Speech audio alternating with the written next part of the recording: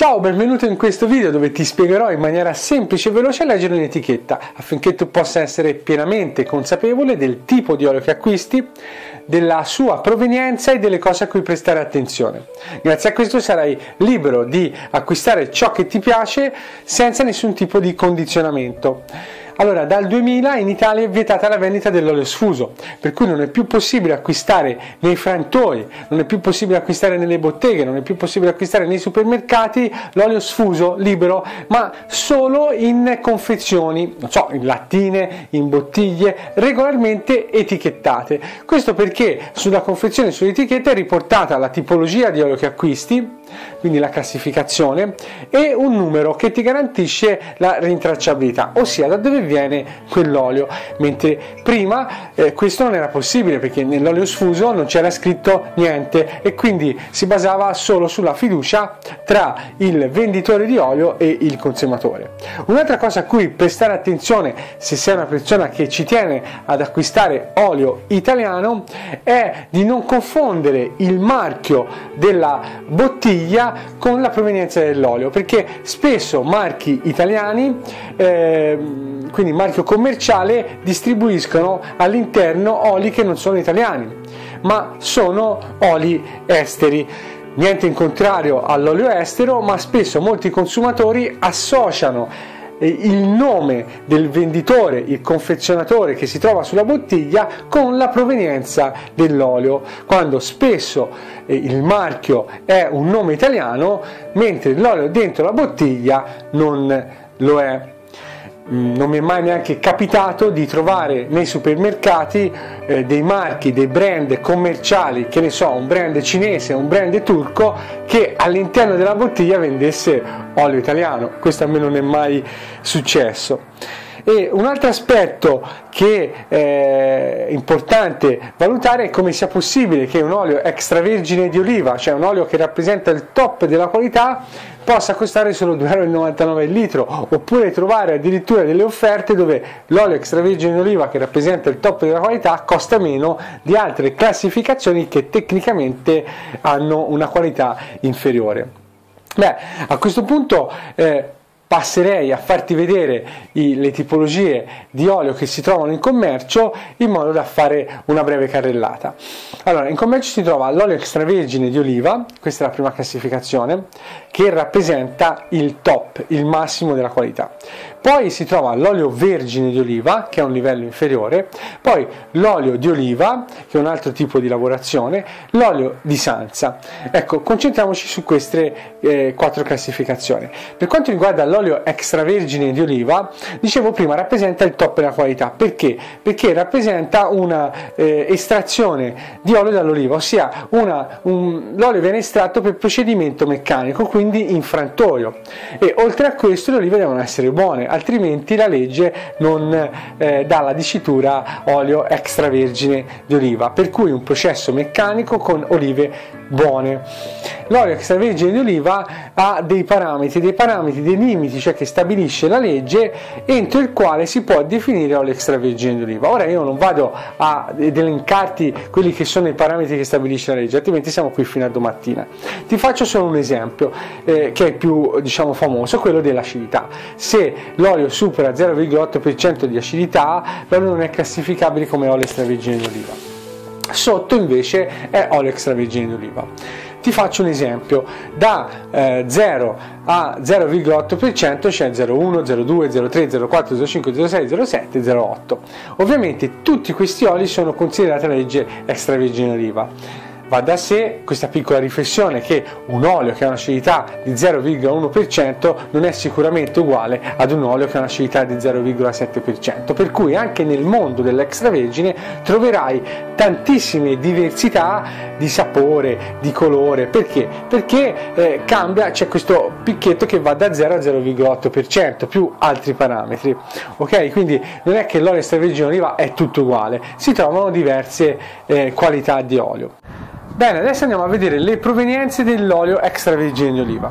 Come olio extravergine di oliva potete trovare in commercio olio extravergine di oliva di origine comunitaria, questo vuol dire che l'olio eh, viene da paesi della comunità europea, come ad esempio Spagna e Grecia.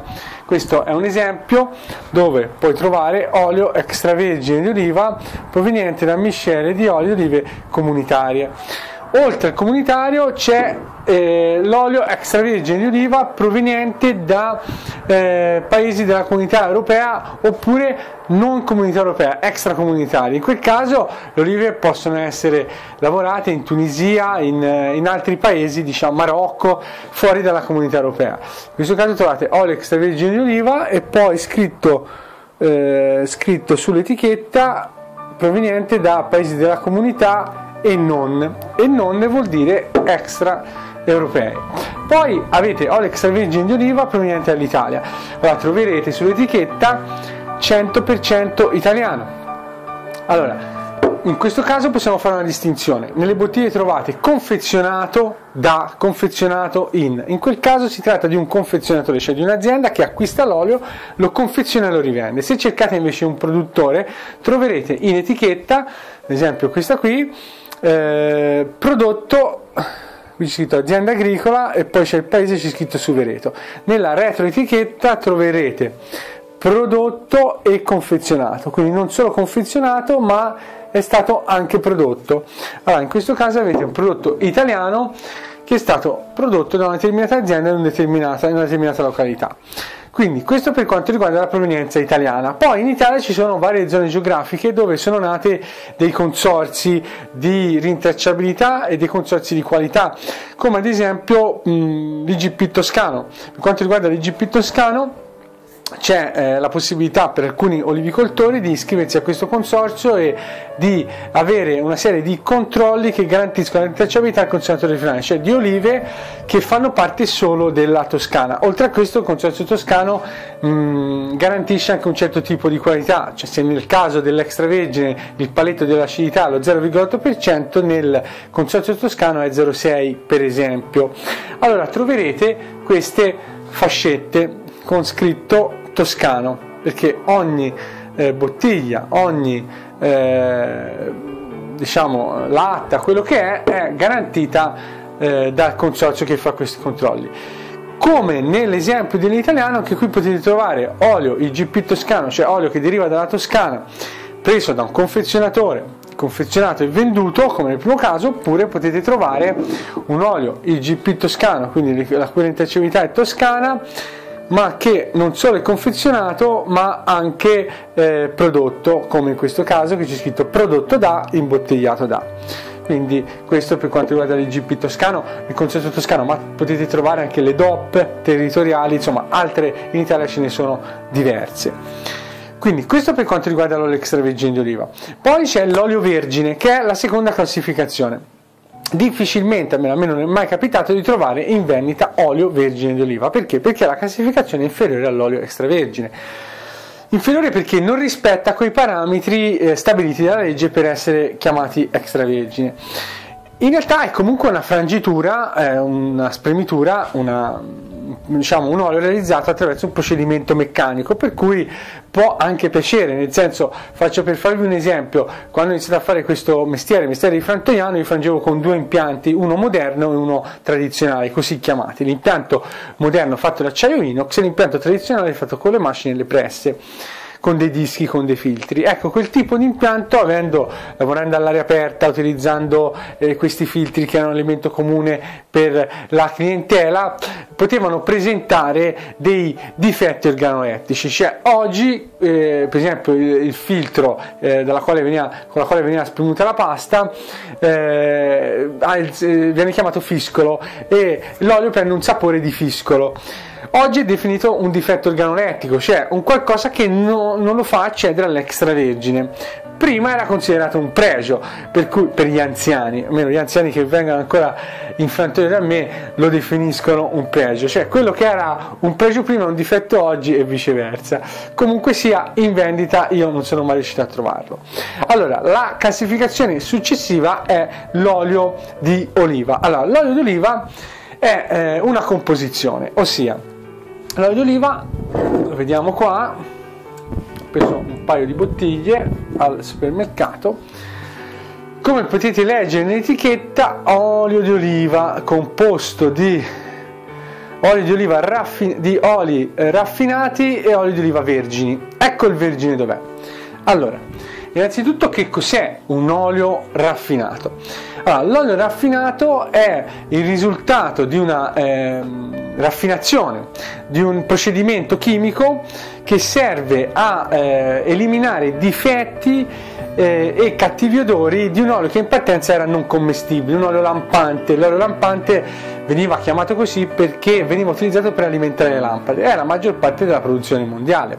Quest'olio viene eh, raffinato chimicamente per eliminare tutti questi cattivi odori e questi difetti. Una volta raffinato eh, rimane inodore, per cui viene aggiunto l'olio vergine, l'olio vergine per dargli sapore e colore con la raffinazione, che poi è né più nemmeno quella che viene utilizzata per l'olio di semi, è un procedimento ovviamente eh, a norma di legge, con la raffinazione non si perdono quelli che sono gli acidi grassi, cioè gli acidi grassi positivi dell'olio eh, di oliva, per cui la componente salutistica e nutrizionale dell'olio rimane chiaramente avrà un sapore molto più eh, diciamo delicato degli altri oli che presentano una variabilità naturale differente. L'altra, eh, qui bisogna prestare attenzione secondo me a, a, sempre al discorso della provenienza, cioè nel caso della, dell'olio extravergine o dell'olio vergine c'è una provenienza e interessa sapere da dove vengono le olive perché comunque sono olive lavorate. In questo caso, trattandosi di un prodotto raffinato, eh, da dove vengono le olive non interessa, per cui nell'etichetta non c'è scritta la provenienza dell'olio ma in alcuni casi c'è il marchio, come al solito, c'è il marchio con la città di riferimento. Per esempio questa bottiglia presenta, eh, questo è un, olio, come puoi vedere, olio eh, di oliva, oli raffinati e oli vergini, questa è la composizione, e poi su etichetta ci troviamo scritto Lucca.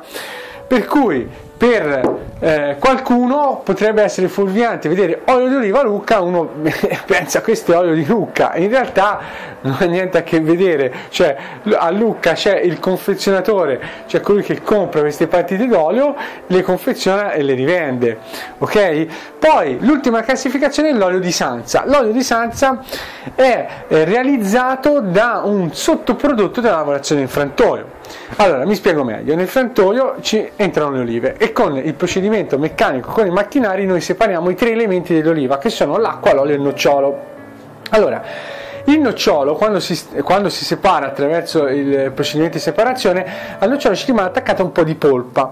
Insieme questi si chiamano sansa. Questa sansa, che è il sottoprodotto, viene trasportata dai sansifici, che sono delle industrie, che eh, separano eh, chimicamente eh, l'olio grezzo da questa sansa. Poi questo olio grezzo viene raffinato, come nel caso del, dell'olio d'oliva, viene raffinato, ci viene aggiunto l'olio vergine e questo e nasce quindi l'olio di sansa. Questa è la classificazione applicazione eh, ultima che ti spiego in questo eh, video. Per cui, come puoi eh, vedere, non tutti gli oli rappresentano il top della, della gamma.